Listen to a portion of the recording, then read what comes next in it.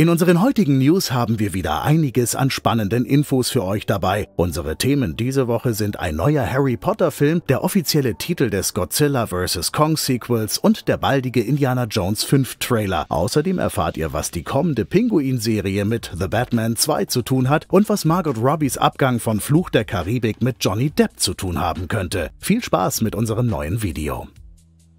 Godzilla vs. Kong zählte vergangenen Sommer sicherlich zu den großen Highlights des durch die Pandemie ausgedünnten Filmmarktes. Auch wenn die Story hier und da nicht als besonders innovativ beschrieben wurde, gab es reichlich Actionsequenzen und viele Szenen, die einem in Erinnerung geblieben sind. Am Ende haben sich die beiden Giganten Godzilla und King Kong trotz anfänglicher Kämpfe zusammengetan, um den noch gefährlicheren Mechagodzilla gemeinsam zu bekämpfen. Umso passender ist es, dass der frisch enthüllte Titel des Sequels nun bekannt gegeben wurde und Godzilla and Kong heißt. Wer der kommende Bösewicht ist, gegen den die beiden Titanen ankommen müssen, ist derzeit noch Gegenstand von Spekulationen. Eines gilt jedoch als sicher. Regisseur Adam Wingard möchte den Fokus auf die Hollow Earth legen, also den Ursprungsort von Godzilla, Kong und vielen anderen Titanen, der nach dem vergangenen Film unter der Kontrolle King Kongs steht. Als Rückkehrer gelten bislang Eileen-Darstellerin Rebecca Hall, Bernie-Schauspieler Brian Tyree Henry und Kaylee Hottle, die Gia verkörpert, als sicher. Wie es hingegen um die beiden Hauptdarsteller Millie Bobby Bobby Brown und Alexander Skarsgård steht, ist noch nicht ganz klar. Zumindest steht mit Die Schöne und das Biest Darsteller Dan Stevens bereits ein Neuzugang fest, wenngleich seine genaue Rolle nicht enthüllt wurde. Falls es weitere Informationen zu Cast, Handlung oder Starttermin gibt, erfahrt ihr es natürlich bei uns. Freut ihr euch mit dem eindeutigen neuen Titel nun noch mehr auf das Sequel und wenn ja, welcher Megatitan könnte eurer Meinung nach für Godzilla und King Kong eine echte Bedrohung werden? Schreibt es uns gerne in die Kommentare.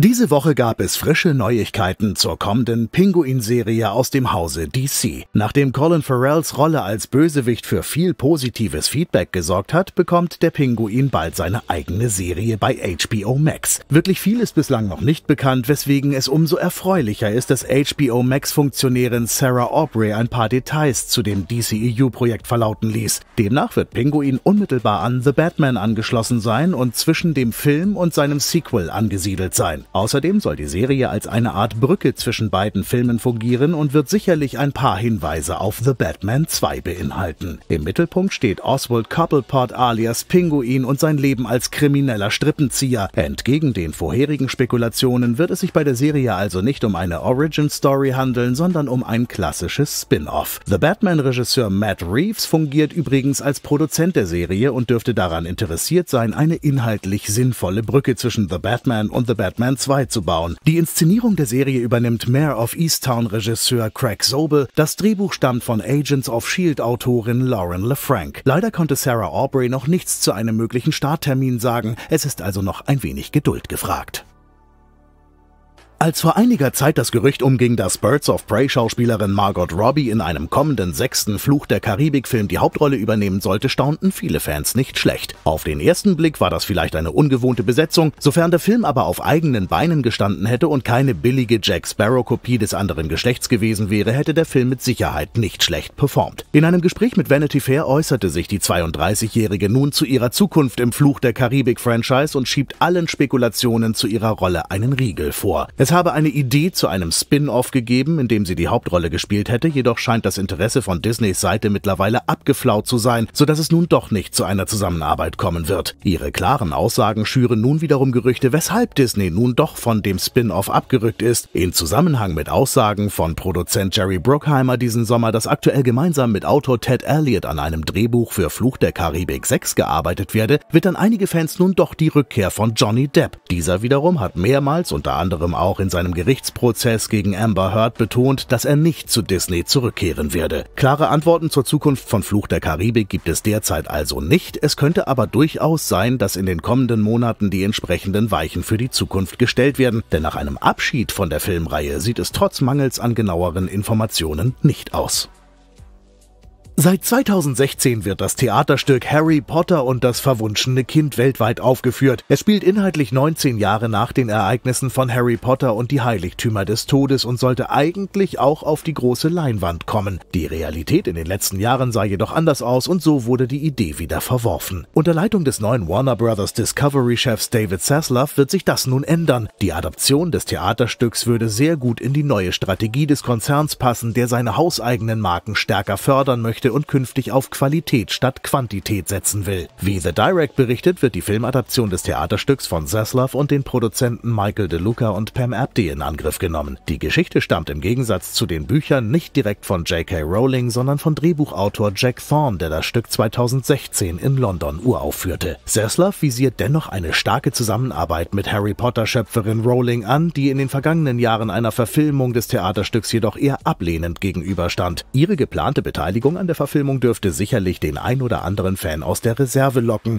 Eine offizielle Bestätigung gibt es aber noch nicht. Inhaltlich geht es bei Harry Potter und das verwunschene Kind um Harry und Ginnys Sohn Albus Severus Potter. Nachdem der Held der Roman- und Filmreihe mittlerweile ein überarbeiteter Angestellter des Zaubereiministeriums ist, steht sein Sohn auf eigenen Beinen und will in die überaus großen Fußstapfen seines Vaters treten. Dabei begibt er sich jedoch in große Gefahr und ist schon bald auf Hilfe angewiesen. Wann genau der neue Harry Potter Film erscheinen soll, ist noch unklar, wir warten zunächst auf offizielle Informationen von Warner Brothers.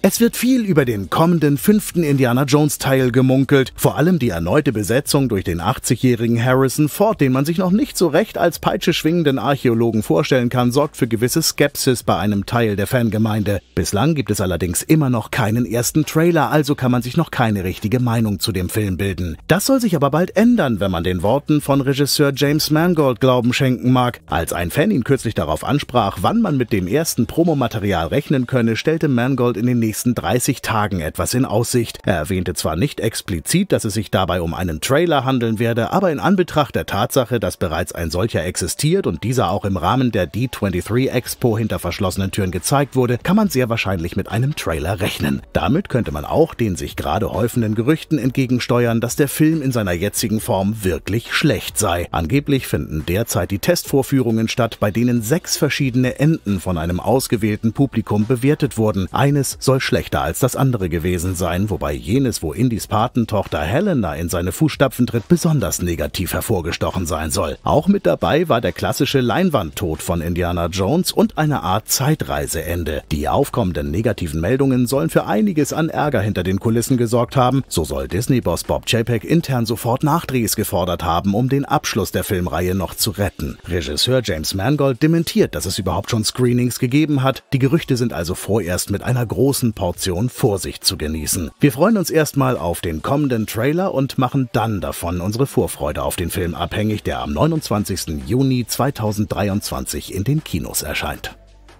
Vor über 17 Jahren erschien der erste Film aus der Chroniken von Narnia Filmreihe. Das Franchise erfreut sich nach wie vor großer Beliebtheit. Die Vorlage von C.S. Lewis wurde in den 1950ern veröffentlicht und umfasst insgesamt sieben Bücher. Drei davon wurden bereits in chronologischer Reihenfolge released. Es gibt also noch genug Material für mindestens vier weitere Filme. Das hat Netflix wohl auch 2018 erkannt, als sich der Streamingdienst die Verfilmungsrechte für das Franchise sicherte. Vier Jahre später gibt es nun ernste Bemühungen, die Filme umzusetzen wissen, weshalb es diese Woche nach langer Sendepause die ersten Neuigkeiten gab. Einem Bericht von What's on Netflix zufolge soll Little Woman Regisseurin Greta Gerwig nicht nur einen, sondern zwei die Chroniken von Narnia Filme inszenieren. Die 39-Jährige ist keine Unbekannte im Filmgeschäft und ist auch für die Regie der im kommenden Jahr startenden Barbie-Verfilmung verantwortlich und hat bisher einige Oscar-Nominierungen vorzuweisen. Durch ihr aktuelles Engagement bei dem Barbie-Film dürfte es aber noch eine Weile dauern, bis sie die Arbeit an die Chroniken von Narnia beginnen kann kann. Ihre Verpflichtung ist aber definitiv ein erster wichtiger Schritt für die Produktion. Es ist davon auszugehen, dass man sich wieder nah an den Büchern bewegen wird. Da die Reihenfolge unter den Büchern aber durchaus variabel ist, kann man nicht mit Sicherheit sagen, welches Buch zuerst verfilmt wird. Wir warten gespannt auf weitere Neuigkeiten. Wie findet ihr die Verpflichtung von Garwick und welche Schauspieler würdet ihr euch für die Hauptrolle wünschen? Schreibt es uns gerne in die Kommentare.